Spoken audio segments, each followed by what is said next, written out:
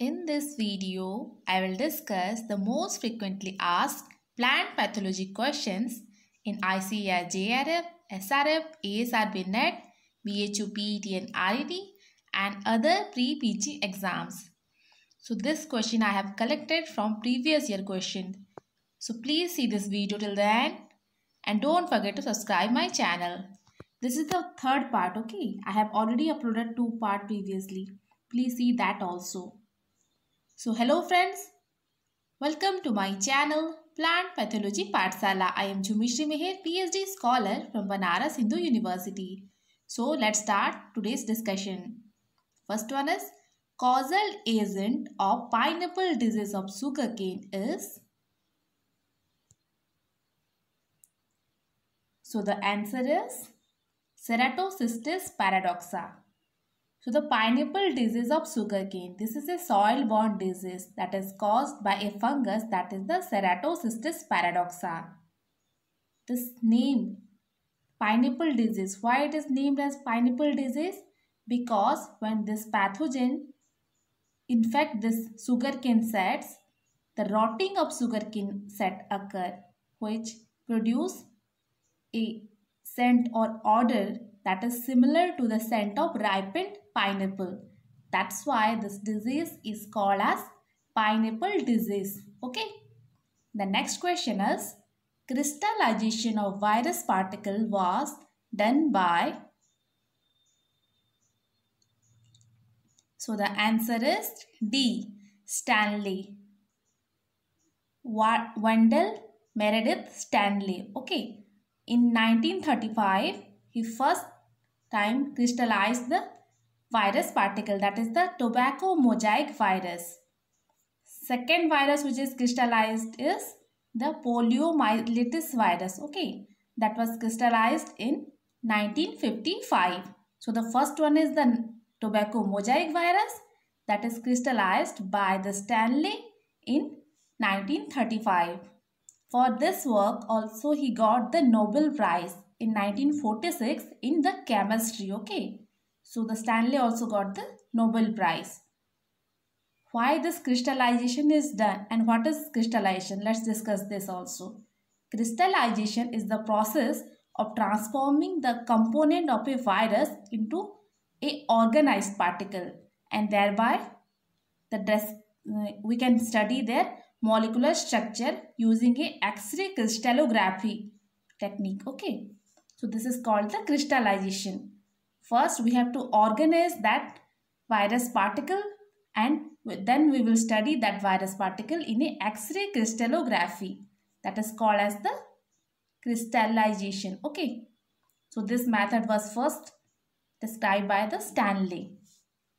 Then next question is crystallization of virus particle was done by the use of which chemical?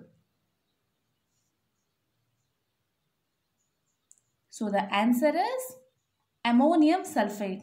So by the Stanley in 1935 he used this chemical ammonium sulfate for the crystallization of virus. Okay. The next question is gram staining was given by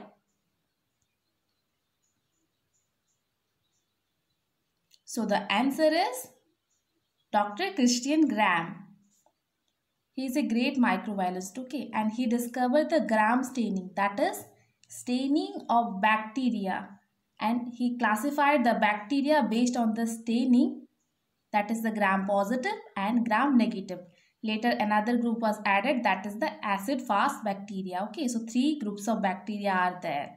That is gram negative, gram positive and acid fast bacteria. So in gram staining generally different type of stains are used. That is the primary stain is the crystal violet. Then a secondary stain or counter stain is also used. That is the safranin. So this is all about the gram staining. But why this staining or why this cells or the bacteria are receiving different type of stain because there is difference in the cell envelope some cell envelope or some bacterial cell envelope consist of cell wall cell membrane and also outer membrane but in some cases this outer membrane is absent that's why the retention of stain by different bacteria differ. That is the basis of this gram staining. Okay. The next question is cauliflower mosaic virus contain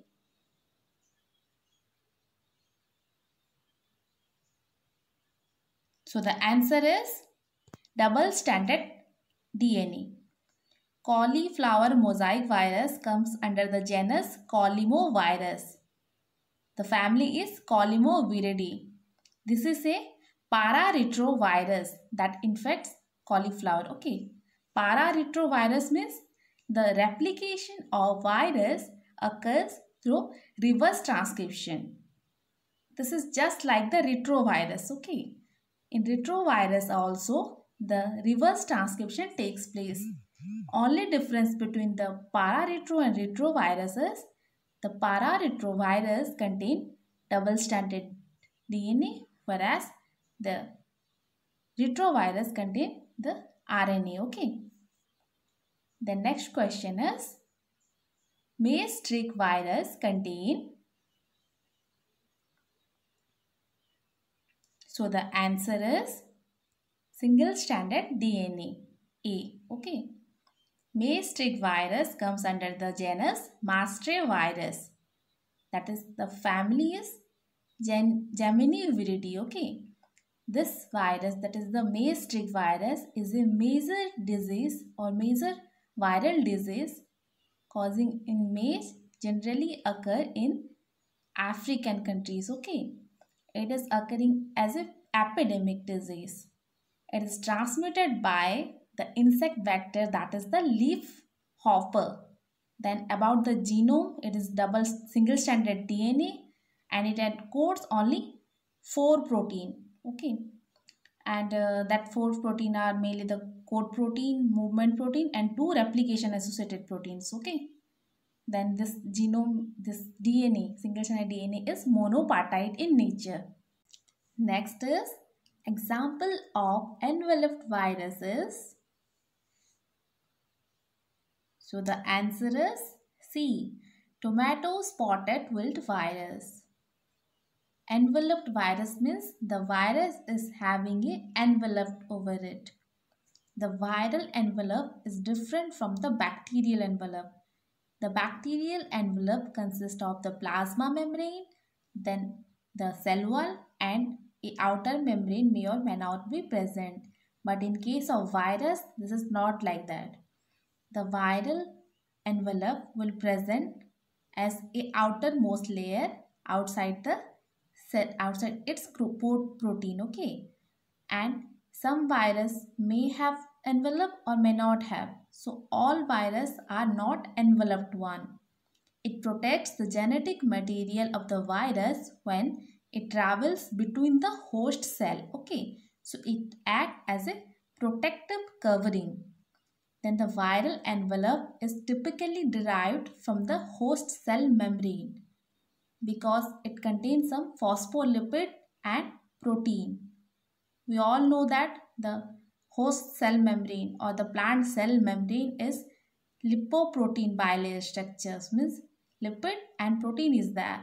So this viral envelope is also containing the phospholipid and protein but it also includes some viral glycoproteins okay that glycoprotein play a very vital role in the mm, function of mm, virus that is it helps to identify and it binds to the receptors that is present in the host membrane. Then other example of this enveloped virus is rhabdovirus, bunya virus and most of the retrovirus are enveloped one. Okay. The next is first viroid infecting disease discovered in plant is So the answer is B. Potato spindle tuber viroid. This viroid disease is first discovered by T.O. Diener in 1971. Viroid are the smallest infectious pathogen known. Okay. This is lesser size than the virus also. So the smallest organism which is causing disease is the viroid. It is composed of a short strand of circular single-stranded RNA. Okay. So small circular single-stranded RNA is there as genome of the viroid and it do not contain the protein coat. Okay. Then the so the genome that is the single-stranded circular RNA it does not code any type of protein or mRNA. Okay. So for different cellular mechanisms it depends on the host. Okay. For a living host it depends on that living host. Okay. For its different mechanisms because its genome that is the circular RNA it do not code any type of protein. So this is all about the viroid. This chrysanthemum stunt, then hop stunt viroid, chlorotic mottle viroid. These are example of viroids. Okay. But the first viroid discovered was the potato spindle tuber viroid. The next question is insect toxicity of BT Bacillus thuringiensis is due to So the answer is C. Protein. Bacillus thuringiensis. This is a gram-positive spore-forming bacteria, okay? And it is naturally present in soil and produce some toxins. Okay, that toxins is useful for managing different insect pests.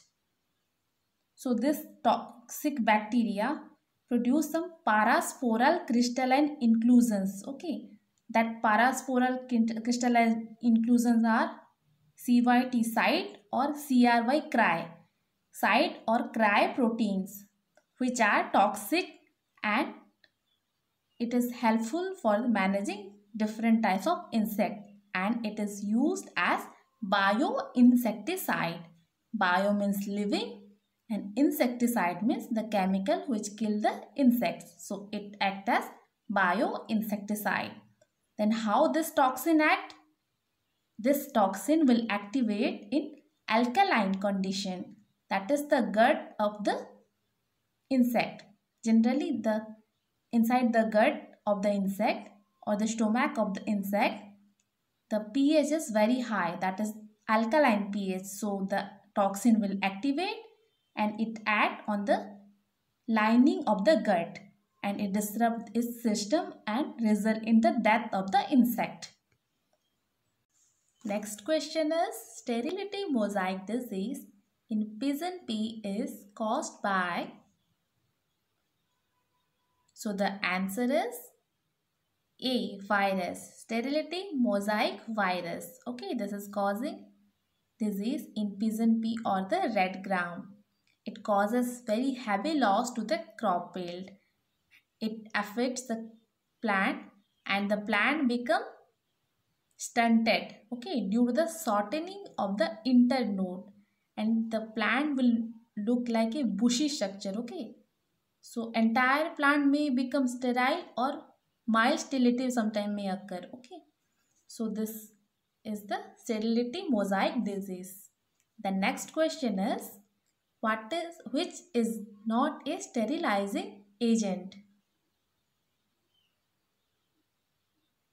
So the answer is D calcium chloride all above three are that is the mercury chloride sodium hypochlorite ethyl alcohol all these three are chemical sterilizing agents. So these chemicals are generally used to sterilize the surface or seed okay you may have used in laboratory. Next question is sterilization means so the answer is b killing of all the organism so the sterilization is the destruction or killing of all the organisms let's discuss about the sterilization methods so sterilization can be done by three methods. First one is the chemical method, then physical method, third one is the mechanical method. In chemical method, we use chemical to sterilize the surface or to kill the all the organisms. Okay present in a material surface or anything. Then chemicals used are alcohol aldehydes formaldehyde ethylene oxide and other gaseous agents. Okay so please remember these chemicals. Then the physical method. Physical method includes dry heat sterilization that is we are doing that in hot air oven okay? Then moist sterilization. In moist sterilization this is the principle of autoclaving. Then next is the sunlight. So soil solarization or solarization we are doing that is the use of sunlight for sterilization or sterilizing any seed or surface or any other material. Then by use of radiation. So for sterilization, two types of radiation can be used that is ionized ionizing radiation or non-ionized radiation. Example of ionizing radiation is UV ray and non-ionizing radiation is X-ray. So in physical method, four methods are there that is dry heat, moist heat, sunlight or solarization, then radiation. Then coming to the third method that is the mechanical method. In mechanical method, we can do the scrubbing of a surface or filtration. Filtration is generally done for the substances or liquids that is heat labile in nature which may evaporate or destroyed on the application of heat. Then third is the sedimentation. So in mechanical method, three, met three process can be done for sterilization that is scrubbing, filtration and sedimentation. So this is all about the sterilization. Here another word is that disinfection.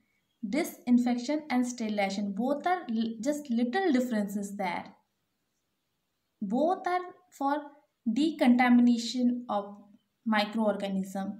Okay, but in disinfection, the elimination of microorganism or harmful microorganism occur only from the surface of the material or the object. Okay. But in sterilization all the microorganism will be killed. Not only the surface whole from the whole um, substance all the microorganism will be killed. But in disinfection only from the surface the microorganism that is harmful are killed. So this is the difference between sterilization and disinfection. So this is the end of this video. I think now you are familiar with so many terms. So if you found this video useful for you, please let me know in the comment section and don't forget to subscribe my channel. Thank you.